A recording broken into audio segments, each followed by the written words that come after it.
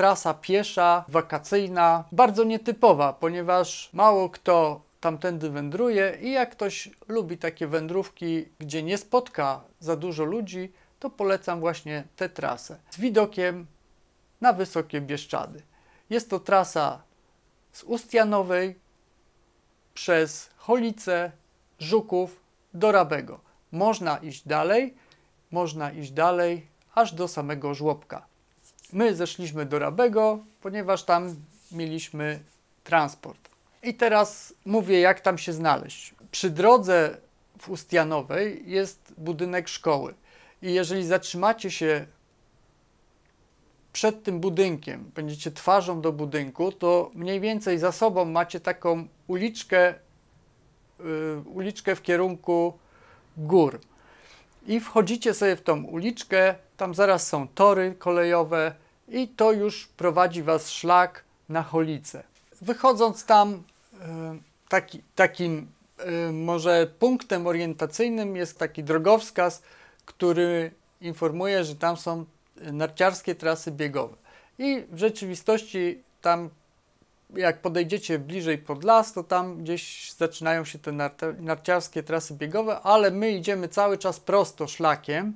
Tam jest, zdaje się, nie, zielony szlak, a jeżeli nie ma tego szlaku jeszcze, to ścieżka dydaktyczna zorganizowana przez y, Nadleśnictwo w Łuszczykach Dolnych y, poprowadzi nas na szczyt na szczycie już na pewno jest szlak. Więc jeżeli pójdziemy tą ścieżką dydaktyczną, to trafimy na samą cholicę. Co tutaj jeszcze trzeba dodać takiego, że y, no, ta ścieżka dydaktyczna bardzo ciekawa sprawa, tam wiele rzeczy można się dowiedzieć po drodze, są tablice, można sobie poczytać, bardzo ciekawe informacje.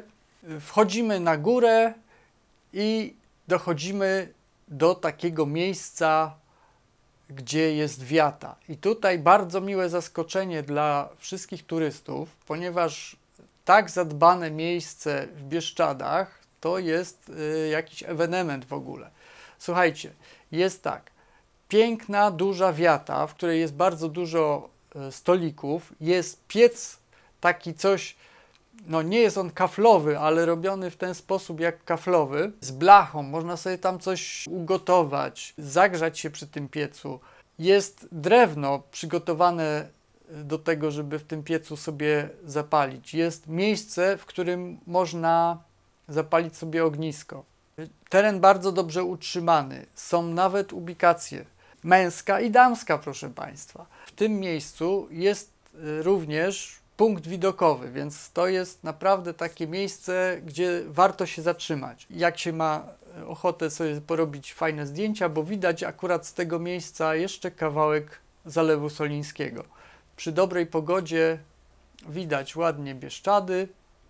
Jak już y, załatwimy wszystkie sprawy w miejscu y, postoju, udajemy się dalej szlakiem już taką na początek asfaltową drogą, piękną, ona tam jeszcze w kierunku Żukowa e, będzie przez jakiś czas asfaltowa, tam nie wiem, może ze 3 km, może mniej, może więcej, no nieważne.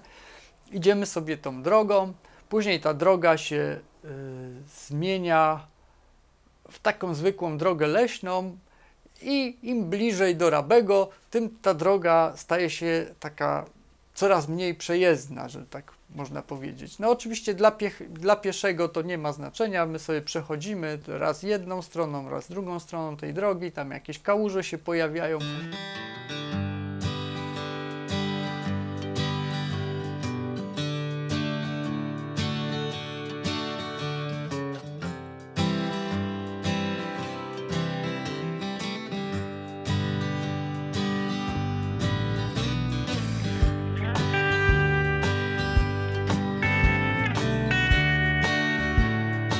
To jest bardzo, e, bardzo fajny szlak, taki rekreacyjny, e, z pięknymi widokami i na jedną, i na drugą stronę, bo tutaj e, z lewej strony będziemy mieć panoramę Uszczyk Dolnych, gdzie widać taką nieckę, w której są uszczyki dolne i przy dobrej pogodzie naprawdę bardzo ładnie to wygląda, a na drugą stronę mamy widok na całe Bieszczady. Oczywiście miejscami jest las, którego nic nie widać, no ale są takie miejsca, gdzie ten las jest rzadki albo wręcz w ogóle go nie ma i wtedy oko można nacieszyć tym przepięknym widokiem.